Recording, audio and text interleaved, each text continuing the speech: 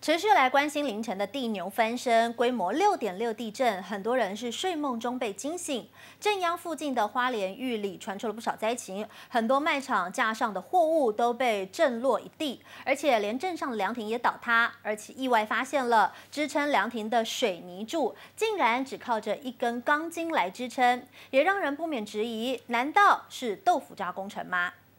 告示牌不停左右晃动，货架上物品一瞬间散落一地，占据整个走道。凌晨这场地震把花莲县玉里镇弄得不平静，一间五金卖场连天花板都遭到地震波及掀了开来，可见地震当下晃得有多厉害。透过那么大的地震吗？嗯，好像没有那么严重。还有这间餐厅也遭殃，餐盘、马克杯全都砸落地面，都成了玻璃碎片。刚睡觉睡到一半，然后就被摇醒了，然后想说应该没事，就又又来第二波。另外，这间烟酒行更惨，不只是货架上酒瓶，连仓库内一箱箱货品也被震得东倒西歪，整个仓库乱七八糟。镜头来到室外，当地一座凉亭，经过一夜连震也没能撑住，一早被附近民众发现，凉亭倒塌全毁，用来支撑的柱子全都倒落，而屋顶更是重重砸落在地。最怕的忧虑就是这样子，因为我一早我七点半就过来查看我们的一个灾情。我看到我们的凉亭倒下来，一晚地震就把凉亭震得残破不堪，没想到还震出偷工疑云。我们就马上来看，结果一来看之后，